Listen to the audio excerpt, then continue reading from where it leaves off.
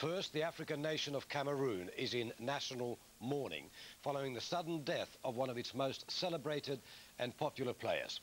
Marc Vivien Foé collapsed and died for no apparent reason during this morning's Confederations Cup semi-final against Colombia. The tragedy has stunned the football world. Foé met his death in the game that brought him fame and honour. And a warning, some viewers may find scenes in this report distressing. Cameroon's Confederation Cup match was 15 minutes from the end when tragedy struck. Alone on the Stade Gerland pitch, Foé suddenly fell to the ground. He was in obvious difficulty and never recovered. He was carried from the field on a stretcher and treated by medical staff for almost an hour in an attempt to resuscitate his heart. But when news of Foé's death was officially announced minutes after the match, players from both sides wept in disbelief. Euh, FIFA President Sepp Blatter led the tributes for a player who had earned high respect for maintaining African football's high profile. Foé played a leading role in Cameroon's 1-0 win over Colombia, and although he was involved in this challenge, there were no signs of any health disorders during the game. Tears also flowed in Paris before the start of the other semi-final. Players from Turkey and France observed a minute's silence for a player and friend most knew from their days in the French league.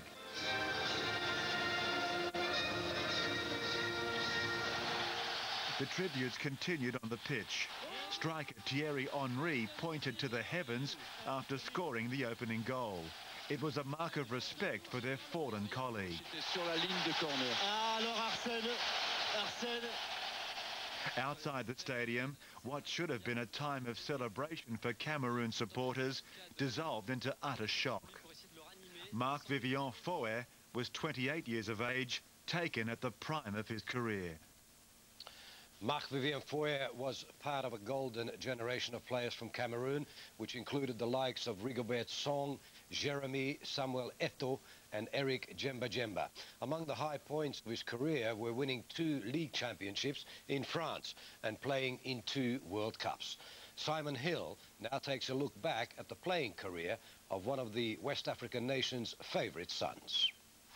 Born in Nkolo in 1975, Marc Vivien Foé began his career with Canon Yaoundé before moving to Lens, where he played under the current Liverpool boss Gerard Houllier, helping the Northern French outfit to their first championat success in 1998.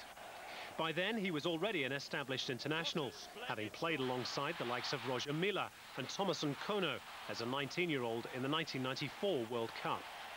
Later that year, he signed for West Ham United, an earlier move to Manchester United had been called off after he broke a leg ahead of that year's World Cup finals in France. But he lasted just a season at Upton Park before returning to France in a swap deal involving Freddy Kanouté. With Lyon, he was a key member of the side that won the French title in 2001-2002 and took the club into the Champions League for the first time ever. And after winning the African Cup of Nations in Mali and competing in his second World Cup in Japan and Korea, he moved back to England on a season-long loan with Manchester City. Foé made 35 appearances for Kevin Keegan's side, scoring an impressive nine goals, including the last ever at City's old Maine Road ground, and wanted to make his move to Manchester permanent. However, City and Lyon were in disagreement over the transfer fee, and although plenty of clubs were interested in signing him, notably Middlesbrough, the player went into the Confederations Cup campaign in limbo, only for his career and his life to be cut tragically short. Foé, who leaves a wife and three children, died playing the game he loved for the country he loved. He'll be remembered fondly by football fans all over the world.